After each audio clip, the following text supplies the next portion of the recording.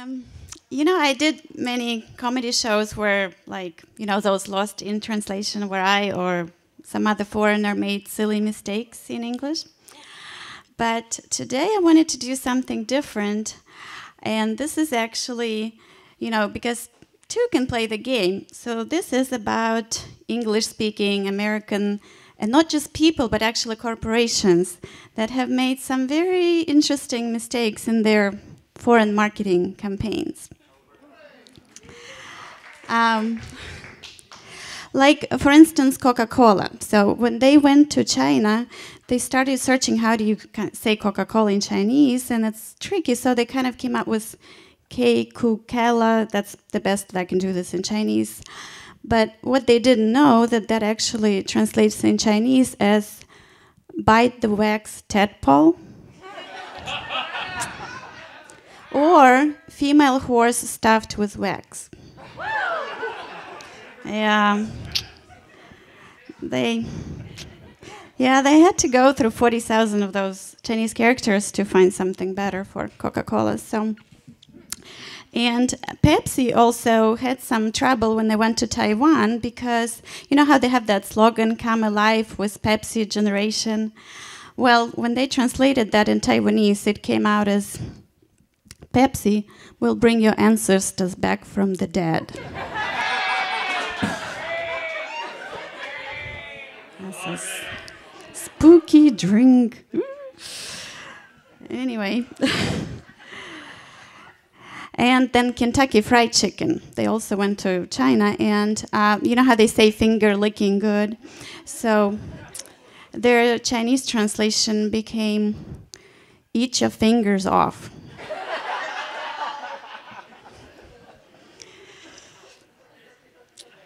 And um, Salem cigarettes, you know, they say Salem feeling free. So when they went to Japan and they made their international, you know, sign, then it actually sounded when you smoke Salem, you're going to be so refreshed that your mind will be free and totally empty. so.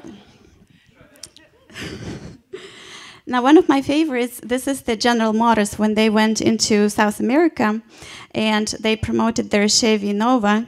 Don't know if some of you heard this story. Um, basically, they translated into Spanish, and what they didn't know that Nova in Spanish means won't go. yeah. And so they were kind of wondering because the car wasn't really selling. And and um, now Parker Pen, you know the company, the ballpoint pen company. Uh, they went into Mexico, and their um, original slogan was, "It won't leak in your pocket and embarrass you." uh oh, they know already. Now, many people make this mistake because in Spanish, embarazada actually it doesn't mean embarrass. It actually means get pregnant. So, so the slogan became it won't leak in your pocket and make you pregnant.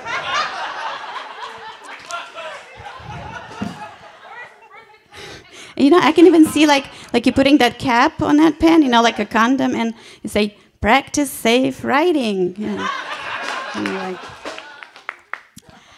and then um, now Ford, uh, when they went to Brazil with Pinto, their Pinto actually flopped because turns out that pinto in Brazil, in, in their slang, means tiny male genitals. yeah, I don't want to drive that car.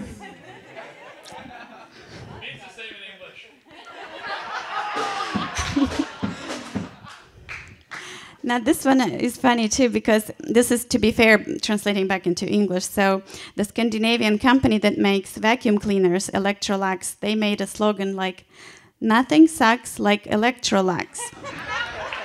you know, nothing sucks like Electrolux. anyway, um, and it gets better from here.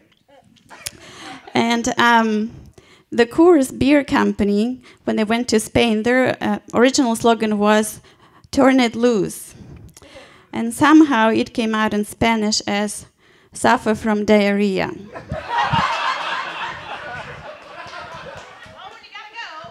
oh, it's close, but yeah. anyway. and I always like to save the best for last. So um, now you, you, guys know this, uh, you know, this chicken guy, the Frank Perdue, the chicken man, and you have this guy with the bird, right? And so when they went to Mexico, I guess there's a lot of Spanish translations. so basically, they have this uh, poster of this man with a bird, and it says, "It takes a tough man to make a tender chicken," right? And it went horribly, horribly wrong in translation because they've printed all these posters and billboards, and you know, you, there was this this guy, the man, the Frank Perdue, with his bird, all over Mexico, and it read actually, "It takes a hard man to make the chicken aroused."